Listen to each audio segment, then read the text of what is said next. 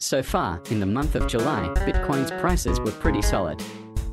Nothing seemed out of the ordinary, and I figured out why it seemed of more value than that of Ethereum. The amount of Bitcoin bought and sold on a daily basis is about 20 to 1 compared to Ethereum. Still, things took a turn in about the fourth week of August, which I will show the prices for in about two more nights. So with that said, let me begin with my recorded prices for Bitcoin. On the 31st of July 2022 the recorded price for Bitcoin was 23,612.91, up 1,186.04 from the price recorded on the 24th of July 2022, but down 183.11 from 23,796.02, the recorded price from the day before on the 30th of July 2022. On August 1st of 2022, the price recorded was 23,393.65, up 966.78 from the recorded price on the 24th of July 2022, and again down 219.26 from the price recorded the day before of 23,612.91.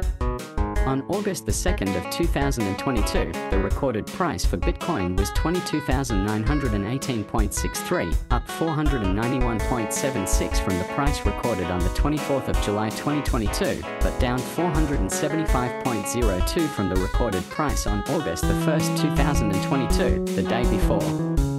On August 3, 2022, the price recorded was 23,026.86, up 599.98 from the recorded price on the 24th of July 2022, and up 108.22 from the price recorded the day before. On August the 4th, 2022, the recorded price for Bitcoin was 22,874.36, up 447.49 from the price recorded on the 24th of July 2022, but down 152.49 from the recorded price from the day before on August the 3rd, 2022. On August 5, 2022, the price recorded was 23,213.29, up 786.42 from the price of 22,426.87, the recorded price on the 24th of July 2022, and also up 338.93 from the price recorded on the day before of 22,874.36.